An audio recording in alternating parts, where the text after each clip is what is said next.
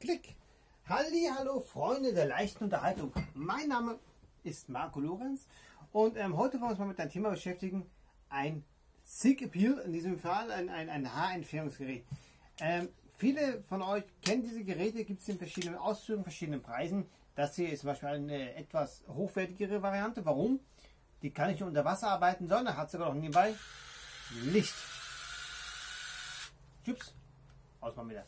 Problem ist bei diesem Gerät, ähm, ab und zu mal geht auch mal natürlich jeder Akku nach gewissen Zeiten vorbei. Das heißt quasi im Betrieb, aua,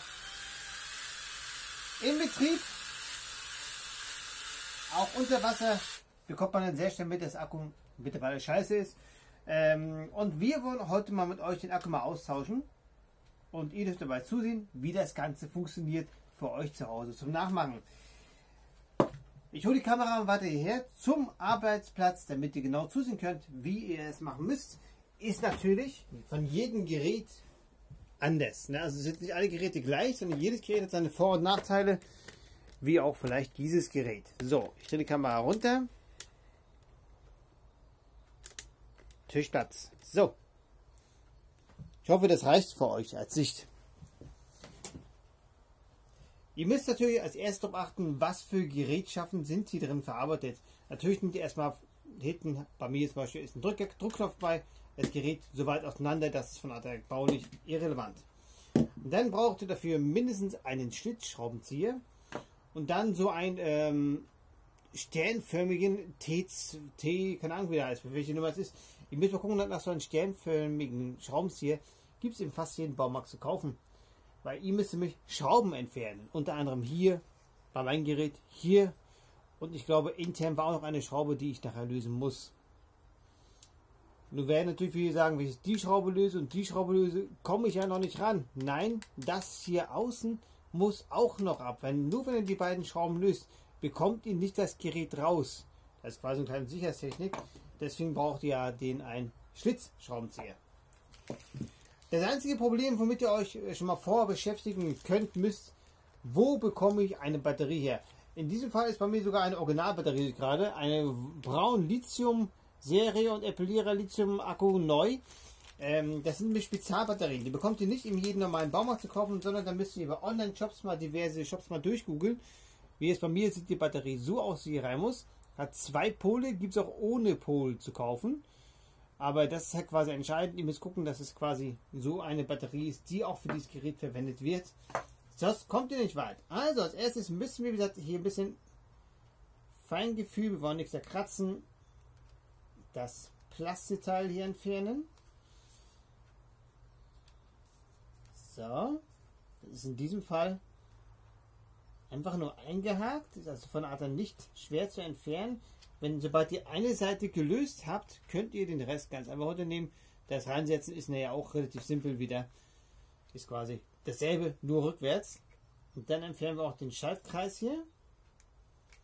Der ist auch nur eingehakt. Der ist natürlich ein bisschen trickiger, trickiger eingehakt. Muss mal selber gucken, wo ich den mal gelöst hatte. Da habe ich ihn gelöst. Also bei mir in diesem Fall war es hier unten einmal reindrücken, den habe ich ihn auch gelöst. Weil wenn ich den nicht entferne, bekomme ich die bei meinem Gerät das über die Glühbirne nicht weg. Also habt, wenn ihr ein Gerät ohne Glühbirne habt, dann braucht ihr wahrscheinlich da gar nicht so groß umherfummeln. Ich muss da ein bisschen mehr Doktorarbeit anwenden. So, irgendwo hängt ihr jetzt noch? Aha. So.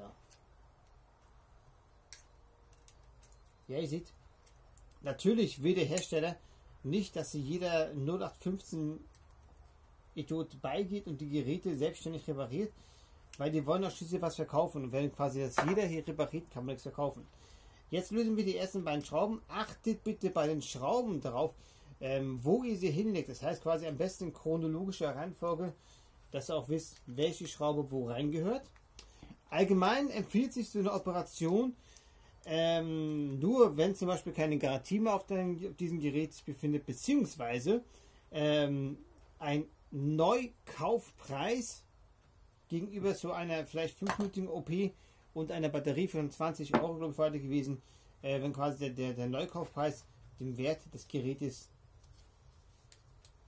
noch deutlich übersteigt, wie es bei uns wäre in diesem Fall, in dem Sinne, das Gerät kostet, glaube ich, neu, äh, jetzt nicht lügen, also mindestens 100 Euro mit der Glühbirne. Oh, das habe ich angemacht, wollte gar nicht. So, jetzt habe ich den dummen Ring auch entfernt, der wollte gerade nicht ab. So, also jetzt haben wir das Gerät soweit lose. Ihr seht, von hat ganz einfach diese Schaltmechanismus mit so einem kleinen Mini-Hebel. So, jetzt tue ich jetzt ganz sanft auf diese Kontakte draufdrücken, um das Gerät ein bisschen nach vorne zu machen. Der Akku, der hier drin ist, der ist wirklich defekt, auch wenn das Gerät gerade funktioniert. Aber bei der Benutzung, bei der Dauer sieht man dann quasi, dass der Akku sehr schnell nachgeht. So, jetzt haben wir das Gerät draußen. So das Gerät aus, einmal von links nach rechts drehen und da haben wir den Akku sitzen. Ähm, bevor ihr den Akku rausnehmt, markiert bei euch am Gerät, so wie ich auch gemacht habe, wo der Pluspol sitzt. Weil wenn die Batterie einmal draußen ist, man sieht es hier nicht. Gut, da oben ist Plus abgezeichnet, aber ich glaube bei der Originalbatterie, glaube ich jetzt, war es nicht zu erkennen. Wir gucken gleich mal. Das rauskriegen ist natürlich auch ein bisschen tricky. Ist natürlich, wie gesagt, alles baulich so veranlagt, dass da keiner groß umherfummeln soll. Ja, okay, hier ist auch verzeichnet, also quasi achtet drauf, dass, oder auf dem Gerät selber steht nichts drauf, ne? Auf dem Gerät ist nicht vermerkt, wo Plus ist. Also quasi, wenn ihr die Batterie rausnimmt, guckt, wo bei der Batterie der Pluspol ist und markiert euch das Plus, meinetwegen da mit einem eigenen Plus. Bitte wisst, da oben kommt Plus rein. Batterien bitte nicht in Hausmüll, sondern quasi in den dafür entsprechenden Behälter rein. So, nachdem wir draußen haben die alte Batterie, führen wir die neue Batterie ein. So kann man gut einen Testlauf machen. Die ist natürlich mittlerweile, die lag jetzt ein halbes Jahr zu Hause umher, komplett leer. Ihr seht's. Leer, leer, leer, leer, leer, leer, leer. Ist aber die neue Batterie. Also von hat auch halb so wild. Da weiß ich, die funktioniert. Die habe ich noch nie ausgepackt, noch nie ausgetauscht. Das erkennt man. Naja, die sieht ein bisschen abgenutzt aus am Nippel. Ne? Daran erkennt man es. So, dann fühlt ihr wieder alles ein. Und macht die ganzen Schritte jetzt, die ihr vorher gemacht habt, eigentlich wieder genauso aber halt nur rückwärts.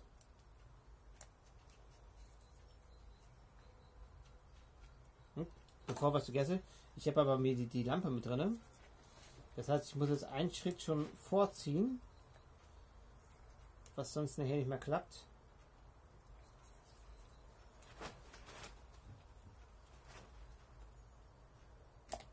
So, ich muss rausziehen. Ich muss mich bei mir schon in den Ring rum machen.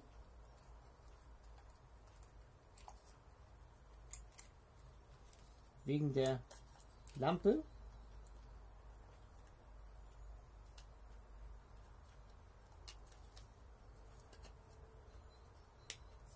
Klick, Klick. So. Jetzt können wir denn, wo habt ihr, achso noch hier. Jetzt können wir die endgültig zusammenschrauben. Wieder so.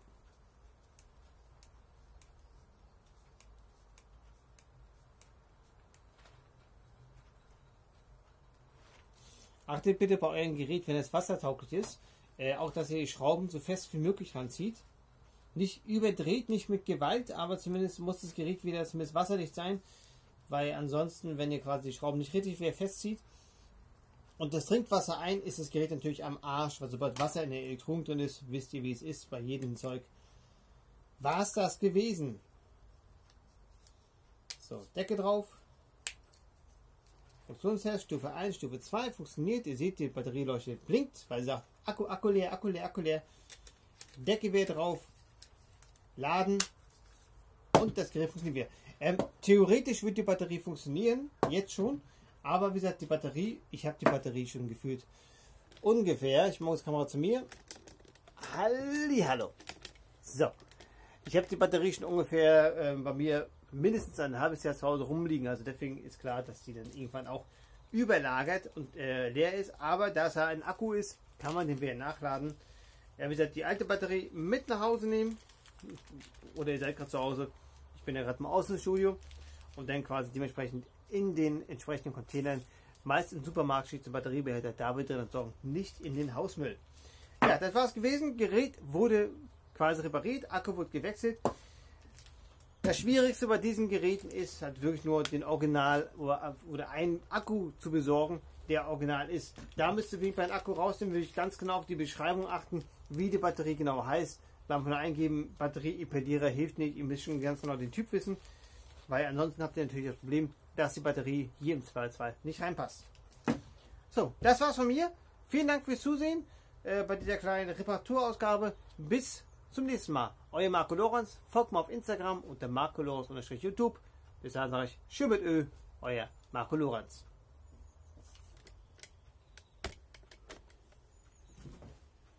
So.